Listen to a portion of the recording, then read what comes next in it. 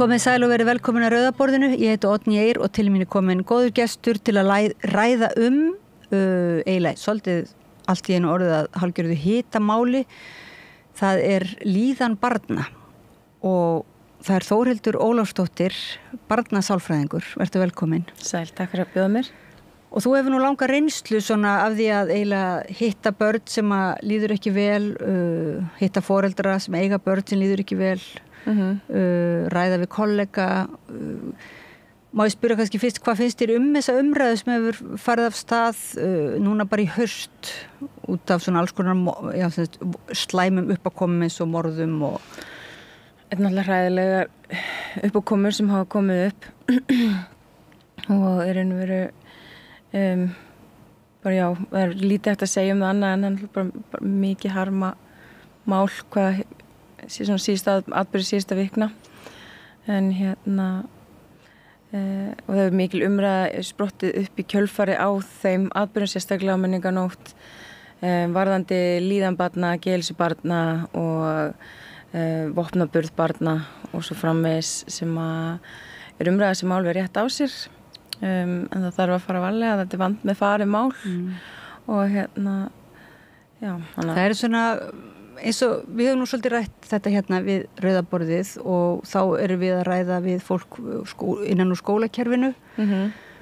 og uh, sálfræðinga og, og, fólk, og félagsfræðinga uh, líka er þetta svona ég veit ekki, hvað, það eru öryggisrástafanir sem er gripið til, það er líka að tala um forvarnir Uh, fólk greinir á um uh, greiningar líka hvort að, veist, hvort að þetta tal um að greina allir með spörn með vanda, hvort að það hafi eitthvað hjálpað okkur mikið mm -hmm. hvort að við séum bara einhvern veginn að uh, útvista vandanum yfir í eitthvað svona teknilegt og, og tökum ekki foreldrar og samfélag ábyrðina mm -hmm. uh, mér hefur fundið svona það, það er svolítið þetta, það verður að leita eins að hvernig eigum við þá að bregðast við mm -hmm. um, finnst þér svona, ef þú tala sem svona persónulega út frá þínum bara þínir reynslu hvað finnst þér, ekki bara í haust heldur svona, hvað finnst þér að við ættum að gera? Já, bara svona heilt yfir varandi bara greiningabarna og veljan eða vanlegan barna þá er þetta mun fjölþættar vandamálinn svo að það sé hægt að segja já eða nei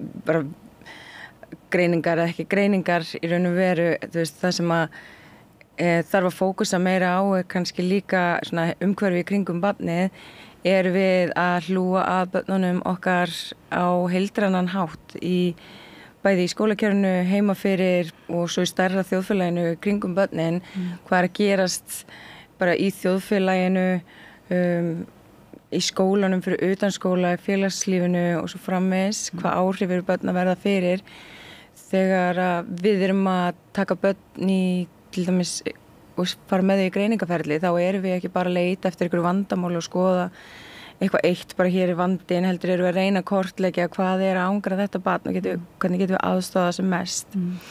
fókusun hefur verið rosalega mikill á þú veist að greiningar sé á þennan eða hinn hátt uh, og þessi bara verið að stimpla bötum með einhvern að gera skanir og leiðist það er ekki alveg 100% þannig heldur erum við að reyna að um, í raun og veru ef við setjum þetta upp í svona myndlíking og setja flokka perlur og setja það í rétt bóks og sjá hvar líku vanding, hver er styrkleikars að bass, mm.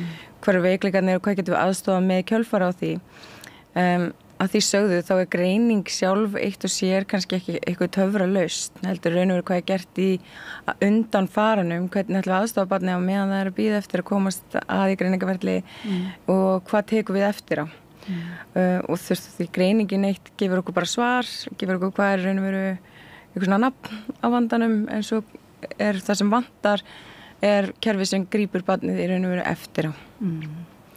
eftir að það er eftirfygrin og svona þá samvinna bara raunverulega mjög svona viðfæðum samvinna í samfélaginu þurft að eiga því stað. Já, í raun og veru og það er þú veist um, sko, hvað gerist eftir badfærgreiningu það heldur raun og verið áfram bara sínu lífi. Ef við, ef við horfum á þannig jú það fær aðstóð, það fær kannski aðstóð lakna og svo framvegis en það er samt bara hluti af því sem þarf að eiga sér stað. Það er, það þarf að vera meiri fókus á um, hvað er í svona þjóðfélags, þjóðfélagslegum skilningi að ángra börnun okkar líka. Mm. það eru svo mikla breytingar eða þessi staði þjóðfélaginu núna. Það er að breytast svolítið svona bragurinn allana hérna í Reykjavík það er að koma aðeins meiri harka í um, svona já kannski samskipti yngra fólks samfélagsmiðlar er orðinu mun meira inn í þeirra lífi en þeir voru hérna áður fyrir og hafa miklu meira áhrif mm. það eru mun fleiri áhrif að valdar að börnunum okkar en voru áður fyrir þau eru að verða fyrir áhrifum hjá samfélagsmiðlum e, þau eru að verða fyrir áhrifum frá fóröldur sínum síðan frá vinum síðan eru ytri öll e, eins og til dæmis e, aðri krakkar og hérna eru þau orðum svona ofinberi fyrir miklu meiri og stærri áhrifum en þau voru áður. Mm. og þetta er eitthvað sem þarf að hafa í huga og þetta er vand með farið þegar við erum í stekkandi þjóðfélagi og það eru svona ákveðni þetta að breytast. Hvernig fyrir að því að hlúa bönnunum okkar En þú hefur unnið, náttúrulega hefur reynslu kannski bæði frá hennu ofinbera og uh, kannski enga geranum og ert, uh, en þú, ert í, þú sérð um svona greiningar sko og, mm. og hérna þú ert ekki hérna sem full fulltrúi neitnar hérna, neins batterís þannig að Nei. við bara uh, tölum við þig sem þú ert þessi borgari þessi, og, og, og fámanneskja en uh, þú þetta er ekkit í hug þá stundum að langar það ekki stundum til þess að fá þá eiginlega meiri upplýsingar? Þú ert í þann tala um breytur sem eru náttúrulega mjög stórar svona þjóðfélagslega breytur. Uh, hefur þið dótt í hug að fara bara inn á þing og verjast fyrir? Já maður hefur alveg oft veldið fyrir sig sko. En hérna um, það, sko maður, maður stundum langar að fara og fara að hafa áhrif á hluti sem er kannski ekki alveg innan manns valdarhengs að gera En, um, en þetta er svo klálega stærra samfélagsleira vandamál heldur en bara það að barnið eitt og sér sé vandamálið mm. og ég held að það sé algengu miskilingu sem fólk fara oft í að við fulluna fólki, hvort sem að það er sem fóreldrar, kennarar eða eitthvað skonar aðrir aðlar inn í lífsfólks við höfum ábyrg, á, við byrjum ábyrg á hvernig barnið kemur út mm. um, það er ekki alltaf hægt að setja bara ábyrgina að það er badni hann er vandamálið mm. uh, við þurfum að laga þetta badn mm. hann er að haga sér á þannig hinn hátt hann lítur á vandamálið við þurfum að skoða þú veist af hverju badni að haga sér svona hvað veldur því að hann ákvaða að taka þessar ákvarðanir? Uh, hvað liti til þess að þessi hegðun átt sér stað? Og sko fyrir hvernig mótaðist þessi hegðun? Og þarna kemur inn miklu stærri þættir sem að þarf að bregðast við að mínum mati. Mm. Um, og hefur ekki verið bröðist við. Og hefur verið raun og veru hérna, kannski litið svolítið framhjá. En að, samt ekki þann hátt að þessi litið framhjá og með skólakerfi það er búið að ræða rosa mikið uh, nöðsinn þess að bæta lestrakunnáttu batna og sluðis en þetta er aldrei mm. gert í samhengi við alla þættina sem þurfa að vera saman mm. uh, þannig að við erum með skólakerfi þar eru kennarar sem eru bara algjörar hetjur að mínum að þið og vinna rosalega gott starf mm. en þau eru líka um, það er mikið álag á kennurum það eru stóri bekkir uh, þau kennur eru oft gerðar ábyrgir fyrir alls konar hlutum þá bara laga barnið á hinn og þennan hátt innan mm. skólakerfisins og þau eru standað sér alveg frábælega en það er bara ekki alveg eitt og sér svo eru fóreldrarnir, þeir eru líka þú veist það er hinn grafana í samfélaginu við um að vinna 100% vinnu Um, við þurfum að komast í og úrvinnu en samt að vera að stitta leikskólatímana þannig að mm. það skapar auka álag og stress fyrir fólk að komast um, í og úrvinnu en sá, sama tíma er um, er verið fyrir fólk að lifa af því að hlutinir er að verða dýrari þannig að þú ert búin að skerða að tekið möguleika fólk sem á sama tíma þarf það að tekjurnar uh, á sama tíma á það að eða meiri tíma með börnunum sínum eins og er, er það ekki að standa sér ná vel í skólunum eins og fólk hissaði að börnunum okkar liði ekki náðu vel mm. um, þau eru að ströggla og þau eru þarna svolítið uh, að að finna út úr hlutunum sjálf um, og það eru held ég að verða svolítið svona þau eru að verða fyrir áhrifum sem við fóröldrarnir erum ekkert andla alltaf meðvitið um eða getum alltaf haft mikil áhrif á mm. og hérna og það er að breytast svolítið svona menningin innan um, í raun og veru úlingahópsins þú veist hvað er það sem þau eru að leggja áherslur á samskipti innan úlingahópa mm. mismunandi hópa og hérna uh, hverfa og svo frammeir sem að þarf að hafa í huga líka Og farið fregnir af þessu, fyrstir, ertu í, sem sagt, þegar þú ert með einhvern einstakling svona og ert að reyna, greina og hjálpa, greina vandan, vind ofan af hverju svona kjarni vandan segja þannig, eða einmitt þessi samþætting, allir þessi þræðir, ertu þá að, sagt, ringja í félagsmyndstöðar eða ringja í foreldra og, og svona reyna að fatta?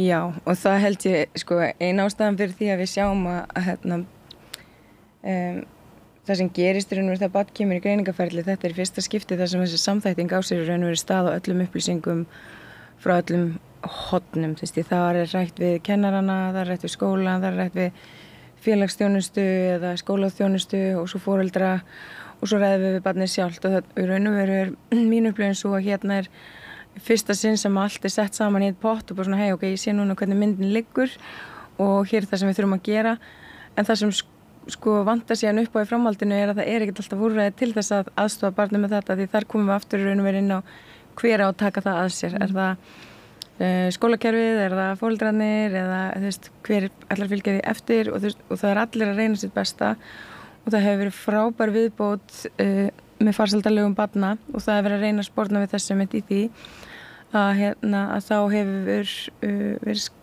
sköpulög í kringum þessa farseldbatna, það sem áverðis eftirfyllt, það sem það er ekki lengur kannski uh, ábyrðin sett á fóröldrarna eina leitað úr eðanum uh, og, og vita hver úr eðan eru, heldur er það með aðstof fagaðala sem á það að vera um innan handar og það er frábært fyrir skref fram á við. Mm. En það þarf meira af svo les og hérna... Það komið í skólanum eins og fallegt að heitir tengiliður farseldar. Já. Svolítið svona...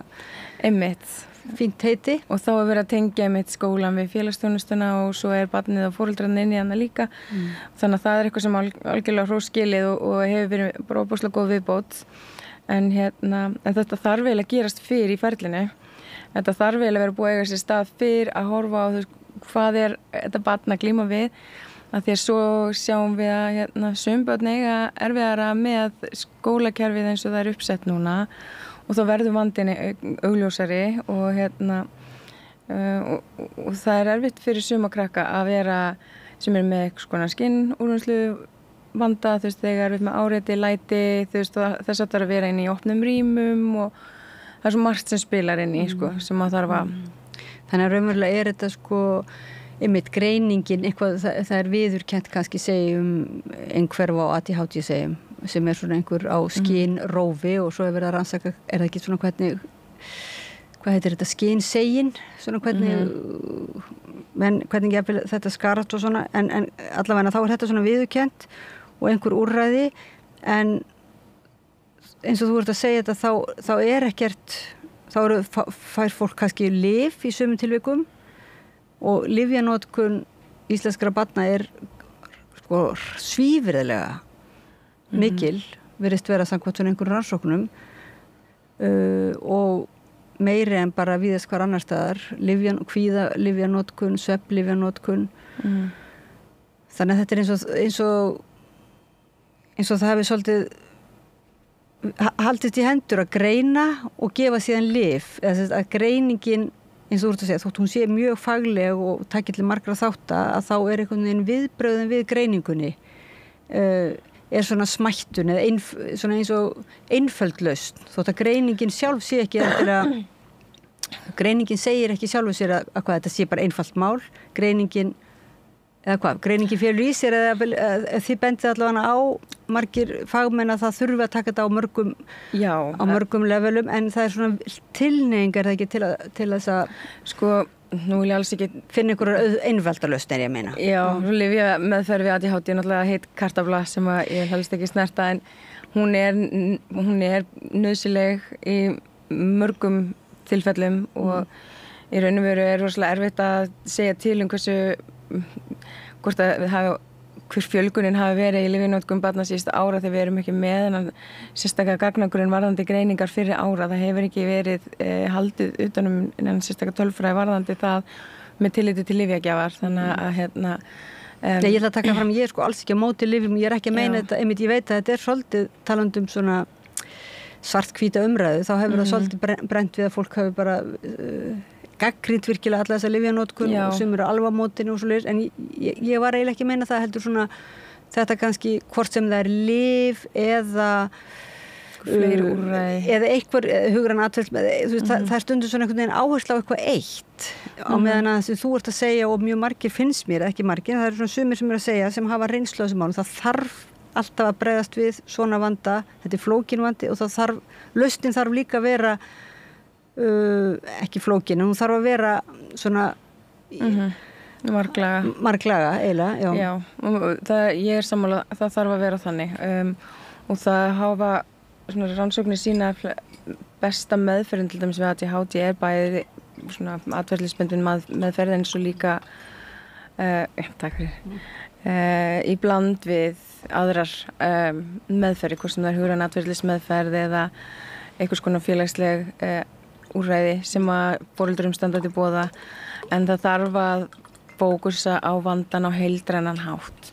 Það er ekki one size fits all fyrir alla og það er kannski það sem þarf að horfa svolítið á en um, það sem er kannski helst það sem að ég allan að minni persónulega reynslu hefur upplifað og nú tala ég náttúrulega ekki fyrir alla er að mér hefur fundist vanda svona að það sé ákveðin samþætting á milli uh, kerfa í heilbyrðistjónustu í geð heilbyrðistjónustu fyrir börn og líka fyrir fullana. Við vitum náttúrulega að þetta er ekki nóg góð stað fyrir geð heilbyrðistjónustu fullana Mm. uh, og það er ofta erfitt að bara fá inn ef það bjátar eitthvað á og margir einmitt eru kvinir fyrir því að barnið verið 18 ára og þá bara fara það út í eitthvað frumskópar og það komast hverja að en hérna uh, það sem þarf er einu verið að samþetta er einmitt þetta fjölskylduumhverfi, skólaumhverfi, félagslega umhverfi bassins og svo líka innri líðan bassins og það gleymist kannski svolítið í allar þessar umræðu að barnið er ekki vandamálið eitt og, sér. Og það er ekki hægt að leysa hann að vanda bara með að setja eitthvað nafna hægðuna og að gera barnið að raun og veru ákveðin svona blórabökul fyrir þetta. Það er aflegging frekar heldur en orsök og, hérna, og það þarf að fókusa á hvað er það í umhverfinu sem eh, veldur þessu mm.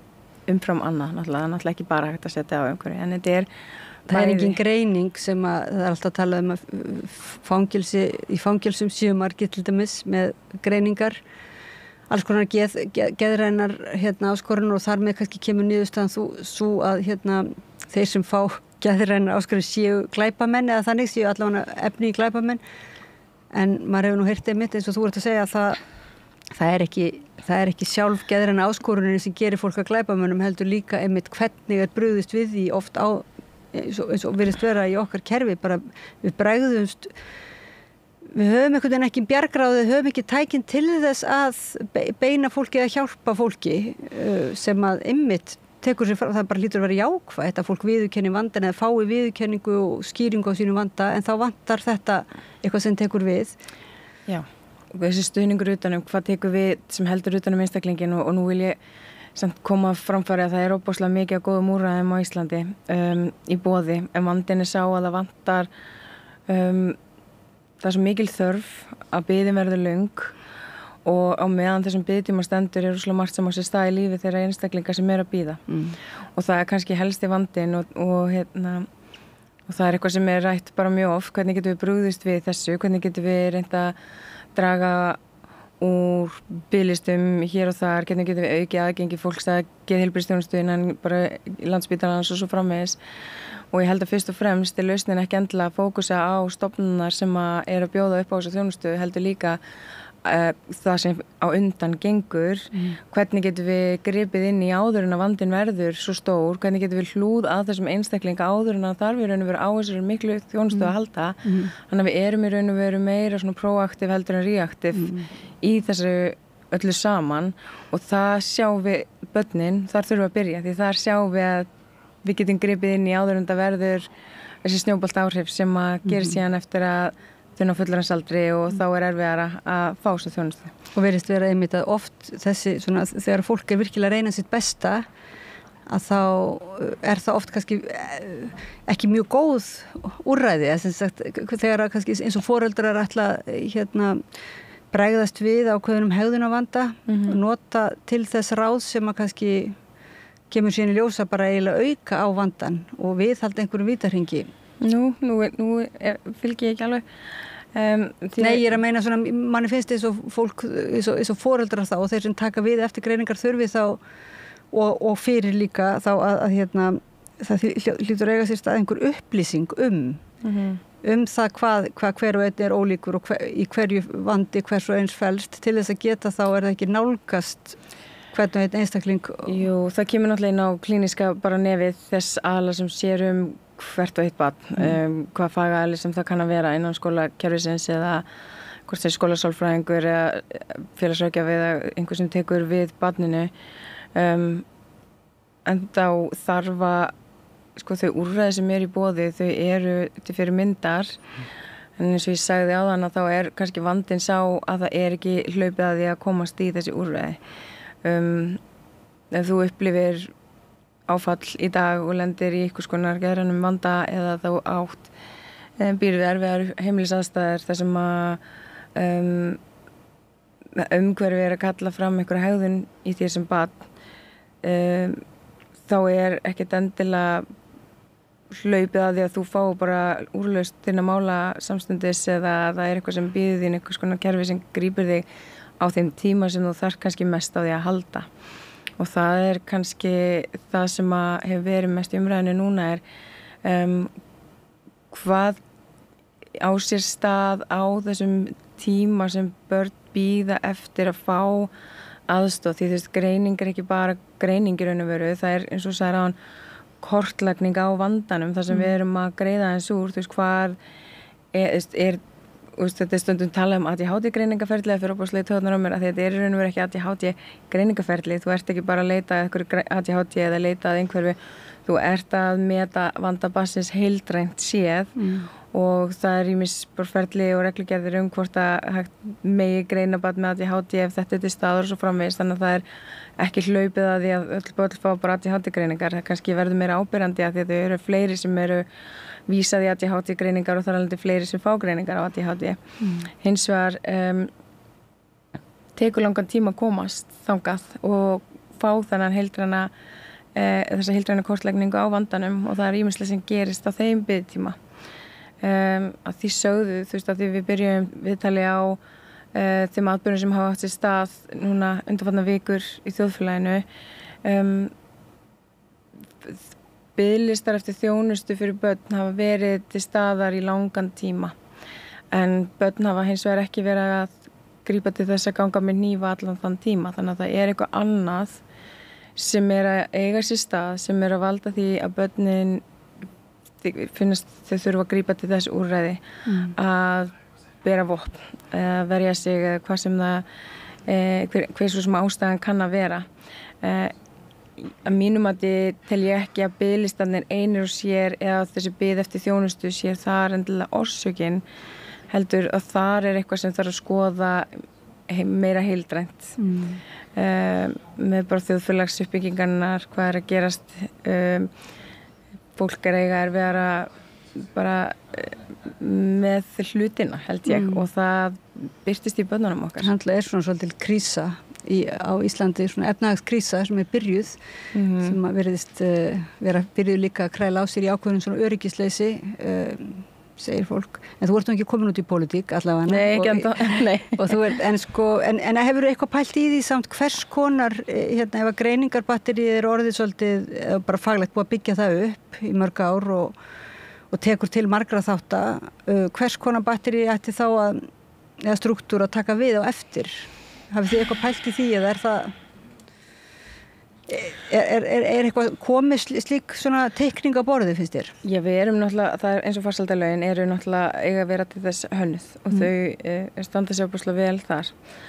Vandin er kannski meira um, þessi hildræni stuðningur við fjölskyldur uh, sem farsaldalögin eru vissulega að byrja að byggja upp um, en það er meira að hvað gerir við á meðan börnin er að býða því þá hangaðu svolítið í lausu lofti mm. uh, ofti byrjuð vinna á meðan en svo kemur hins vegar að það stoppar ofta á að þau þurfa greininguna til að fá aðganga mm. þjónustu og svo framvegist þannig að þetta er svona já uh, það þyrti bara einhvern veginn að útfæra kerfi þannig að það er aukin aðgangur fyrir börn og fjölskyldur þeirra að þjónustu mm. áður en að vandin verður það mikill að, að það þurfi að grýpa til allra hinna úr aðana, skilji. Og undan og eftir.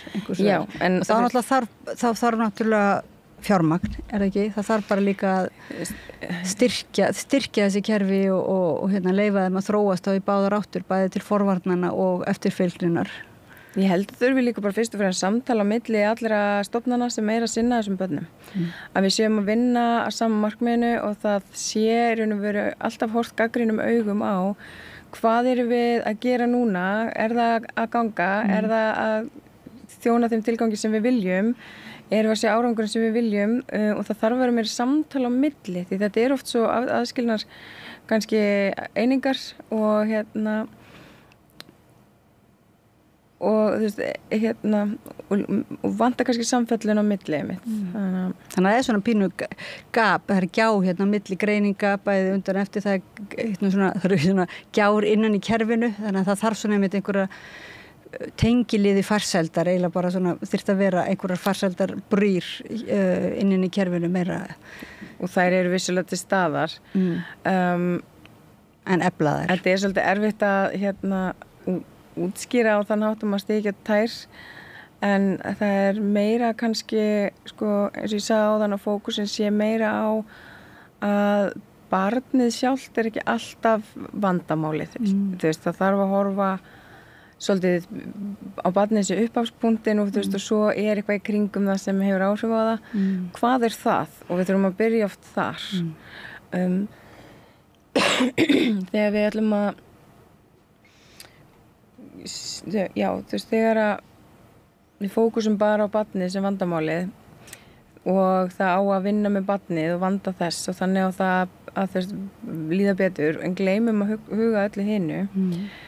þá verður árangurinn takmarkaðari mm. þú veist, það þarf að um, Og þú vinnum með börnum, þú ert, þú ert náttúrulega bara í nánum tengslum við börn í þessu uh, greiningaferli þannig að þá, þú finnur að það er heldur ekki að hjálpa börnum að einhvern veginn varpa allir ábyrði yfir á þau.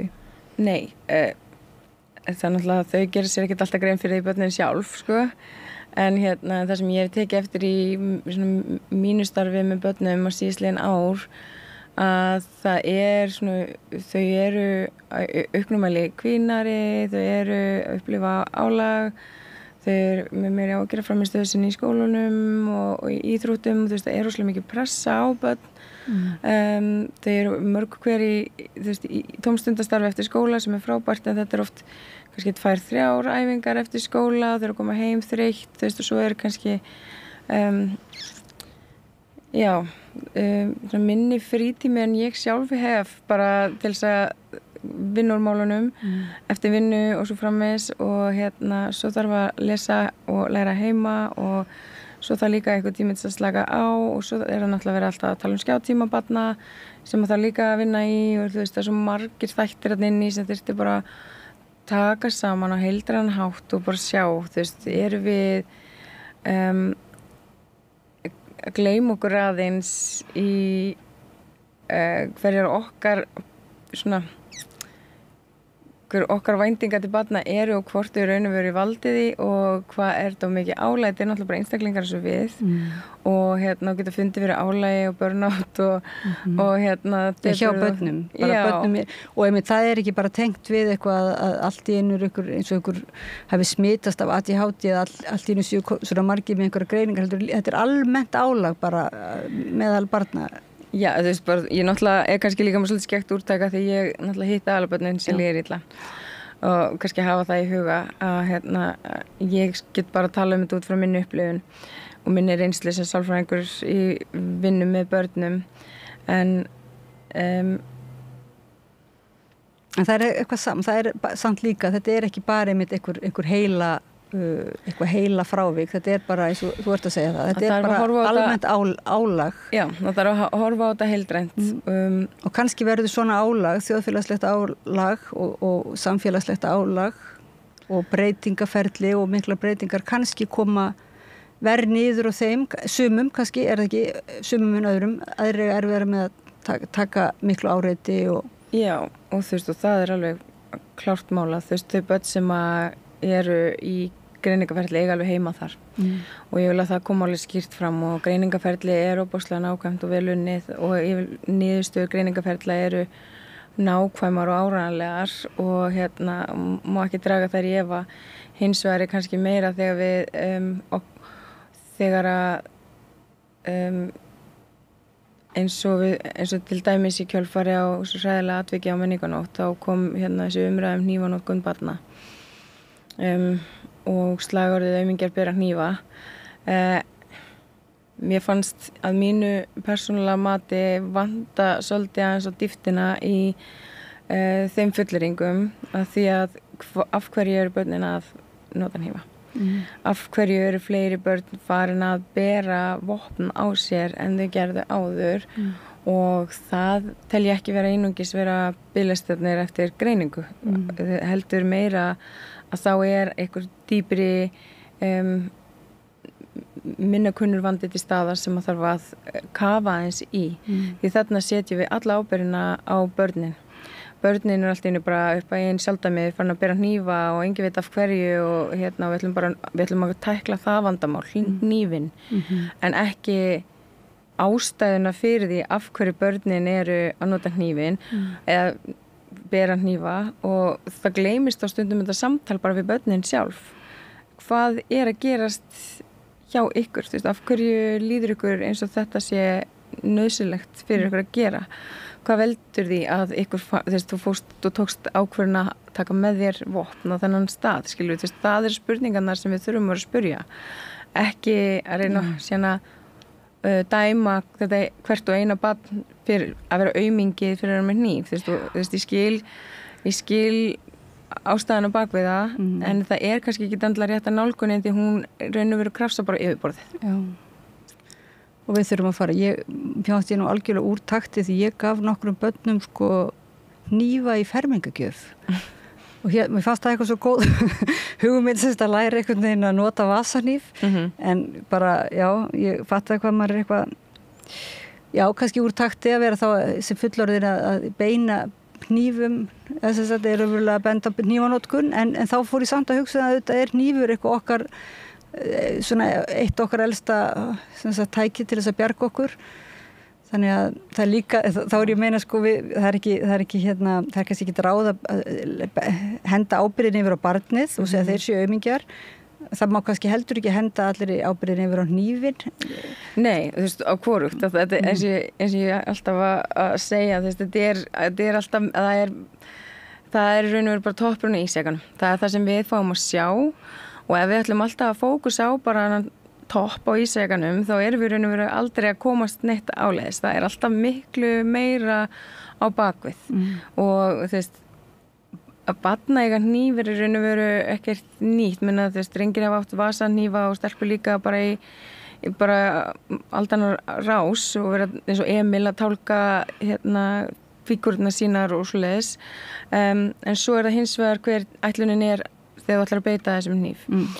og ef þú hefur einhvern ásetningum að beita vopni á einhvern hátt þá skiptir einhver máli hvort það fegst það í fermingagjöf eða finnur það bara í eldurskuffinni heima hjá þér þú, þú mynd finna leiðir mm.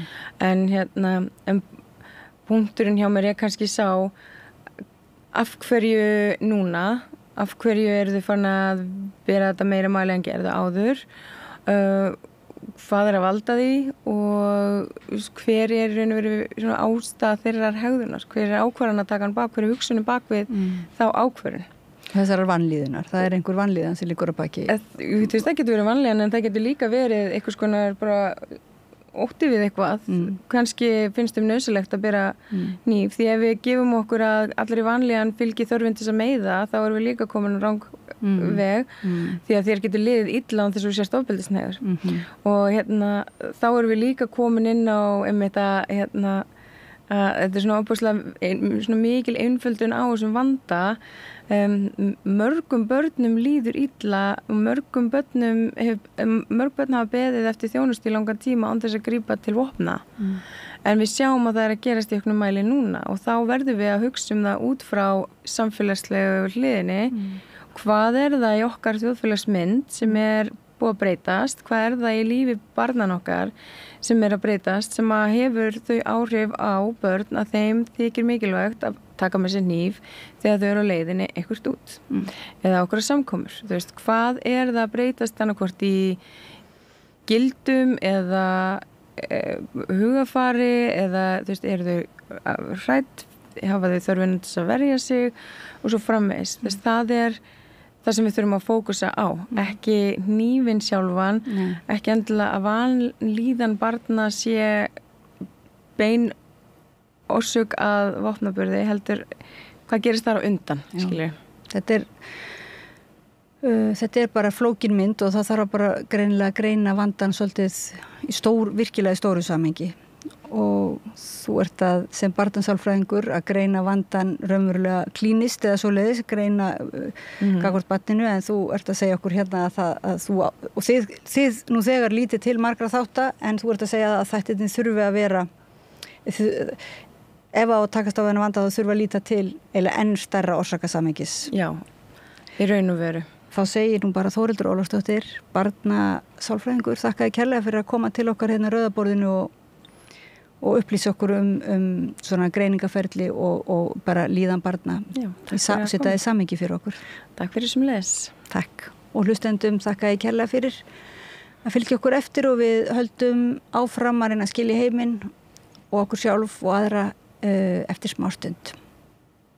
Gerist áskrifundur á samstöðinni og taki þátt í að byggja upp öfluga og rótæka samfélagsumræðu